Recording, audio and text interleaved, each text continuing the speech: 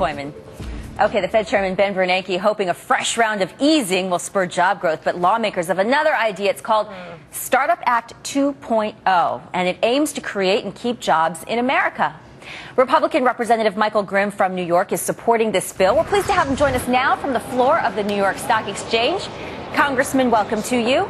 Well, good afternoon. How are you? I'm doing great. Melissa's here with me. We're having a great day. And I see you're joined there by some high school students who I understand Absolutely. are giving a tour of the New York Stock Exchange. So are these some of the students you are hoping as they go to college, become professionals, stay here in the U.S. and get jobs? Absolutely. And I want to just say that they're from Poly Prep in Brooklyn. I'm extremely proud of all of them. They're doing a great job. And this is the future of America. And absolutely, we need to put an emphasis on the STEM fields. You know, the sciences, technology, all the engineering and mathematics. We know there are jobs open right now and there's no one to fill those jobs. So we need to have an emphasis there, and it's about creating jobs in the United States. That's what Startup 2.0 is. It's a jobs bill. Are we still losing a lot of young professionals to jobs overseas?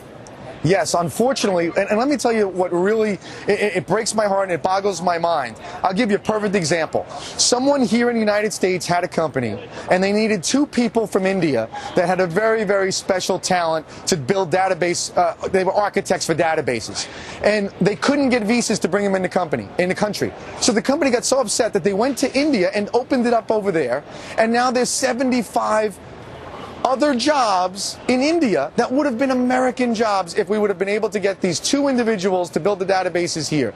I don't want to see that happen again. The jobs need to stay here in the United States, and yeah. we should be giving incentives for those that graduate in STEM related fields to stay in America. But, Congressman, I mean, you're talking about changing immigration laws so that people that come here and earn a degree stay here and those jobs stay in America. But it seems to me that the real problem is getting students like the kids behind you to study math math and sciences. Kids that were born here stay here, learn those jobs, and you know become engineers and become the technicians that we don't have what is it about our young people that they don't grow up to go into those fields okay there's two points to that and they're very very important number one the, the only thing to do with immigration here is that we're doing common sense visa reform. Immigration is a huge issue that we have to tackle. This isn't it. This is about visa reform that makes common sense without actually increasing the caps of immigration. That's one. Number two, I actually asked that same question. I asked the entrepreneurs, why don't we have the talent here in the United States? And you know what they explained to me?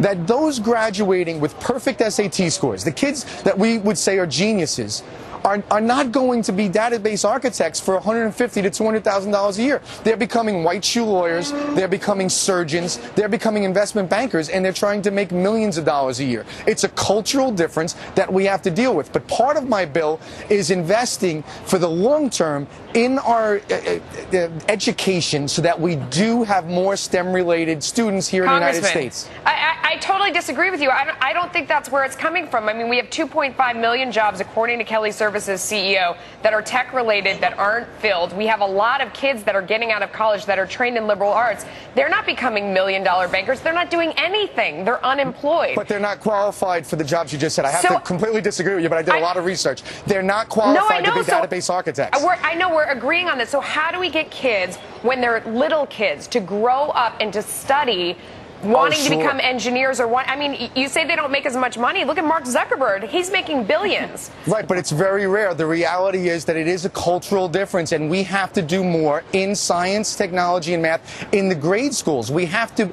make sure that there are programs that emphasize, but a lot of that is with the parents. You know, the parents and, and our society has to emphasize, uh, you know, make sure that these students know it's extremely important and emphasize that mathematics and technology are important. Unfortunately, in the United States, a lot of parents are telling their, their children, become doctors, become lawyers, become investment bankers. And they're not focusing on these technologies. So it's, it's not an easy fix. This yeah. is a cultural issue that we have to just put more incentives for, the, for uh, students to study. But the reality is, if you are a genius in the United States and you have a perfect SAT score, you're not becoming a database architect. It's not enough money in it. I will tell you, though, that with unemployment at these levels, I think at some point we are going to start seeing a shift, and we will naturally yes. start seeing students choose these these technological these STEM careers. I think it's going to happen. Sort of I, I have more disagreeing with, to do with you, Congressman Grimm, but we're out of time. I'm going to have to drag you on. I, I have another okay. program on at 5 p.m. that has a segment called "Disagree with Me," and I think you're perfect for it. I'm going to drag you on that when you have some time. Uh, it'd be my pleasure. Okay, thank you.